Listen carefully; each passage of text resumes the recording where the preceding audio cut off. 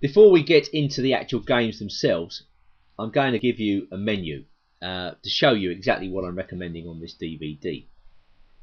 The first white opening we will consider is Larsen's opening B3. A reasonable enough way to start the game, and it must never be forgotten that Larsson won many beautiful games with this opening. That was then, this is now. I'm recommending that black meet Larsen's opening with the slightly unusual but perfectly respectable d5 and bishop g4. This promotes a sharp struggle if white tries to hunt the bishop down after h3. It's kind of a reverse Trompowsky, but in all cases, black gets a reasonable game. Going back now to the opening move, go all the way back. The next opening we'll take a look at is the Sokolsky opening b4. This is of course a much sharper approach than, than b3 introduces. And once again I'm going to be recommending the move d5. But after bishop b2 we're going to sharpen the game up straight away with queen d6, putting the question to the pawn at b4.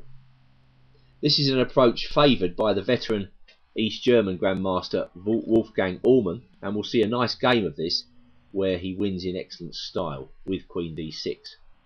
It's an interesting move. Black sets a trap. If white plays b5 in this position, the queen can come into b4, forking the bishop and the pawn. But there's far more to black's queen move than that. If white plays a3, black can grab the centre with e5. This is a good approach by black and again completely recommendable. Let's drop back one more time. Now we come to the move a3, Anderssen's attack. Not seen very often, but um, a crafty move. White is going to play a reversed opening. Whatever black plays, white will respond as if he's black with the extra move a3 thrown in. Usually, this will involve black in a kind of reverse Sicilian. And the way Anderssen interpreted it back in the 19th century was to follow a3 up with a quick c4. Against a3, I'm recommending a King's Indian approach with g6. Quite often we reach uh, a typical position in many queen's pawn openings where the move a3 has no bearing on the position whatsoever. Black can play a kind of King's Indian or Grunfeld setup with complete confidence because a3 has no bearing on that type of structure. So g6 is a good reply to a3.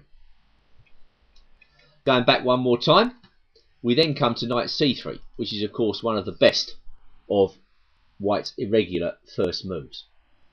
Against this move, I think black should stick with d5 once again.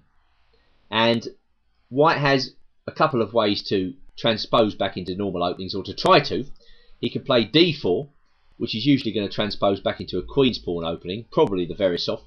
Well, against that, I'm not interested in letting white play e4 for free, so I recommend bishop f5. I think this is the complete answer to knight c3, and will give black a good game in all lines.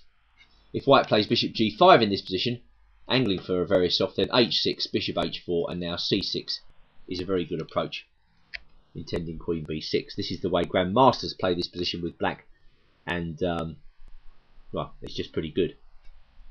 Going back to knight c3, d5, die-hard knight c3 players will often come out with the move e4. This goes directly back into an innocuous variation of the Scandinavian, where d takes e4, knight takes e4, and now bishop f5 gives black a very respectable game. Basically, black gets a kind of Caro-Kann position in reverse, where he hasn't even moved his c-pawn yet. This gives black the opportunity at the right moment to play c5 in one go, undermining the white centre, and this should secure black pretty comfortable equality in every line, as we will see. Going back to the opening. The next one we're going to tackle is the unruly Grob. Okay, I know of a lot of players who play this move in club chess. They know the tricks, they know the traps, and they win a lot of quick games with it. Well, I'm going to recommend that black respond with d5 once again. And if bishop g2, the traditional Grob approach, I'm going to perhaps recommend the slightly unconventional exchange sacrifice after bishop takes g4, c4, d takes c4, allowing white to take on b7, and to take on a8. Yes, white has won the exchange, but in all other respects, he has a completely ghastly position. And uh, we'll see that this is an enterprising and pretty good way of tackling this position for black. The Basman approach after d5 is to go h3. We'll see a game of Basman against Keene where he comes unstuck using this unconventional approach. By simple means, black can get a good game here. And the key move, the key idea, is the development of the knight to e7. This is an excellent move. The knight will come to g6, eyeing the key squares on the king side, h4 and f4. I don't believe that white can get even a playable game against this approach by black. So the grob, I would say, is redundant as an opening. Going back, well, of course, that leads us on to Benko, Benko's opening G3, which is as solid as they come, and it's just an attempt by White to play a game of chess. I think there's nothing Black can do against this. The very best way to play is E5 and D5. Grab the centre. Why not? Classical chess. Take the centre if you can, and we'll see a number of Grandmaster games where Black gets, um, as long as he's not over ambitious, a perfectly respectable game using this idea. I mean, why get into anything fancy against G3? It can't be a bad move. In fact, it's a very good move. Just take the centre, play normal chess, get your pieces out, stick to the basics.